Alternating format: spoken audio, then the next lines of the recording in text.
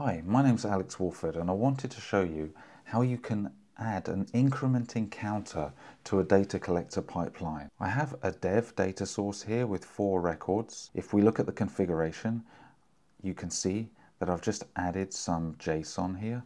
And now I'm using Jython to implement the incrementing counter. There's a variable called state, and this state variable keeps the state for the duration of the pipeline for this particular processor. So the scope of it is for the processor and the life cycle of this variable is for the pipeline run. In the init section here, I've initialized the variable to 1.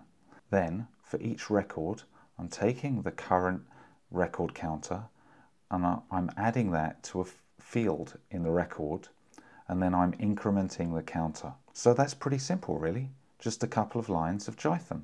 I think it's worth mentioning that there are other types of IDs that we can use to enrich records. So in this case, I've also added a UUID, that's a universally unique identifier. And I've also added a pipeline ID. So let's have a look at these. So you can see the UUID and the pipeline ID here. In addition to that, I also added the host name and I used Jython to do this. So you can see here is a field called host name. Let's pop over to the configuration.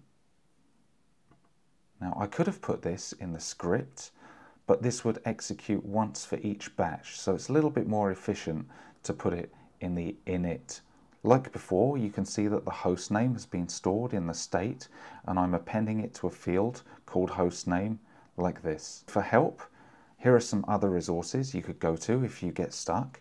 You could go to ask.streamsets.com. It's like Stack Overflow. We've also got a Slack channel, a Google group, and some pretty great documentation on the web.